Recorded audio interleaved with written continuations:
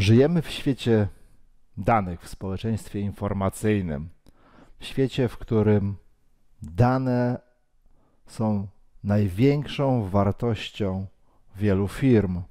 Na pewno Państwo słyszeli o tym, że dane to nowa ropa. W każdym razie paliwo XXI wieku.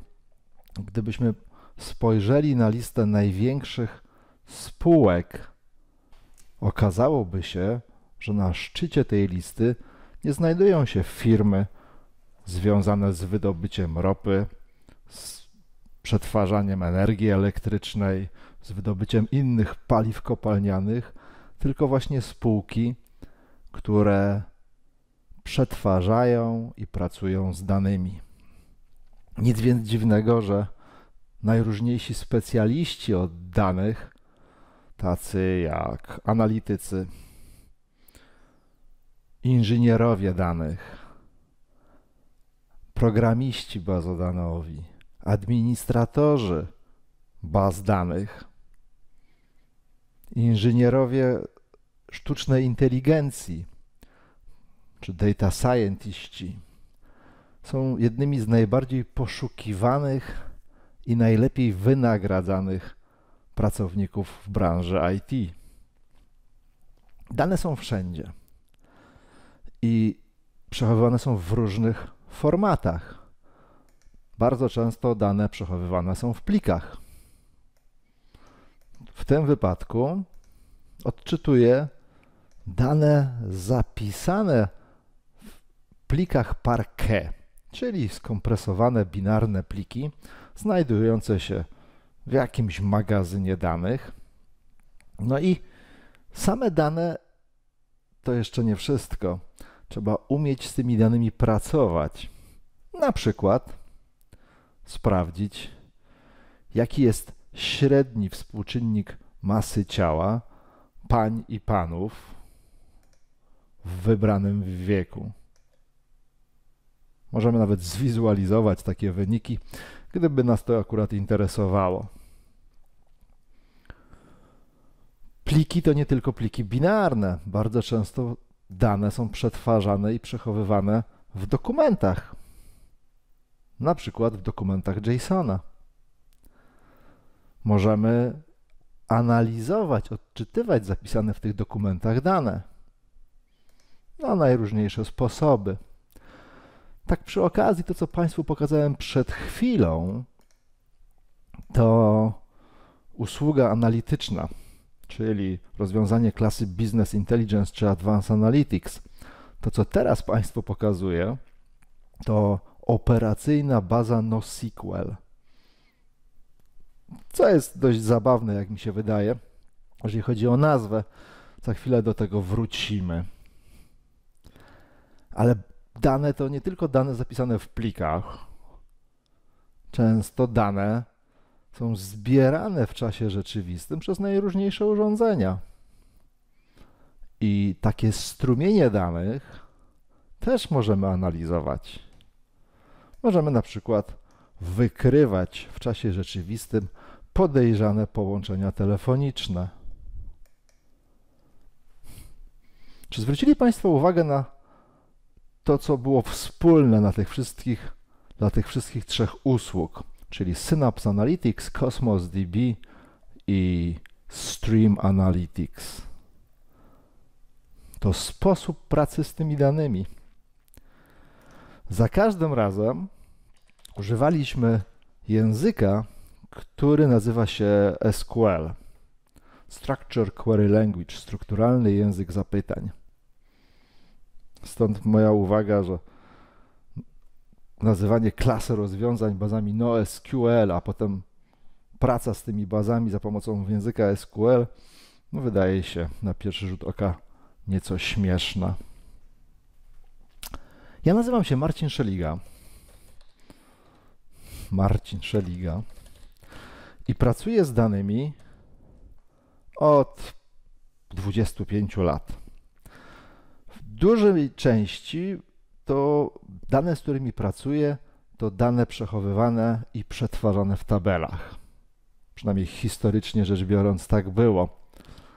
Czyli y, dane, do których uzyskujemy dostęp za pomocą technologii serwerów baz danych, relacyjnych serwerów relacyjnych baz danych. To jest to, co teraz Państwu pokazuję.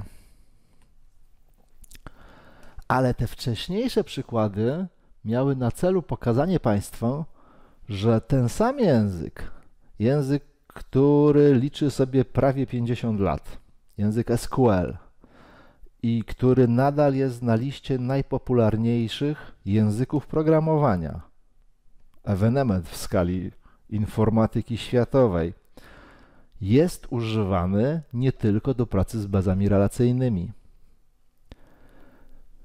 I po tych latach doświadczeń, a w dużym stopniu moja praca polegała na uczeniu innych.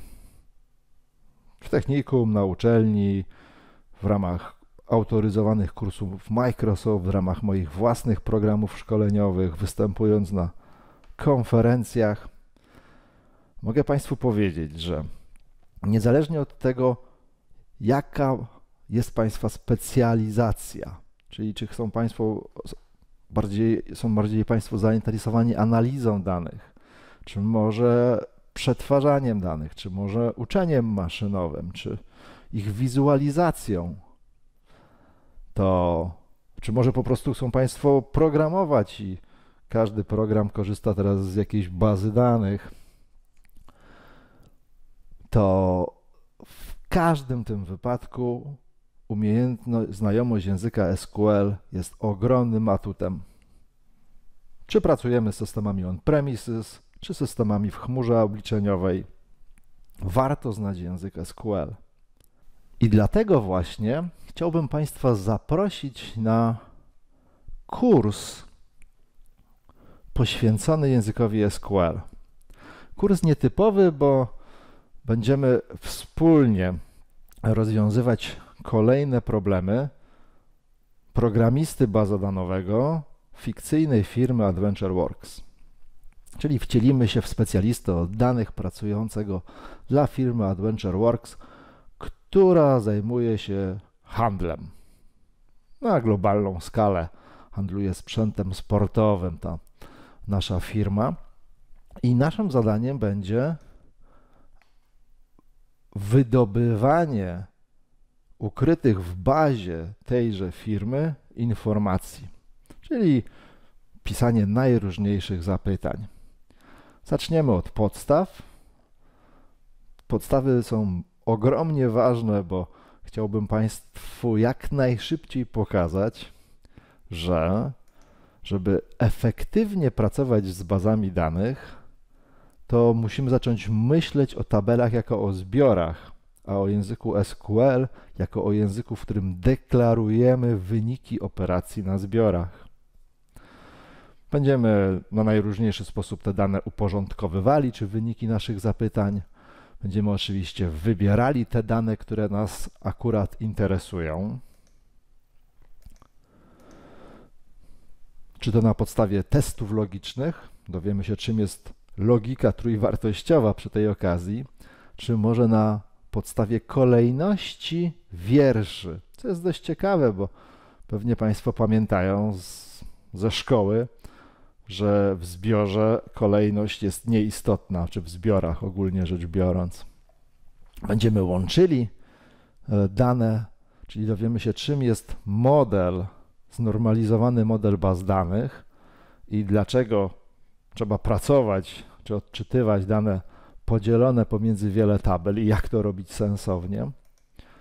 Dowiemy się, czym jest poziom szczegółowości, czyli ziarno tabeli, i jak je zmieniać w miarę własnych potrzeb, czyli nauczymy się grupować dane i nauczymy się wreszcie wykonywać zapytania czy analityczne, czyli w ramach pojedynczych zapytań modyfikować poziom szczegółowości danych.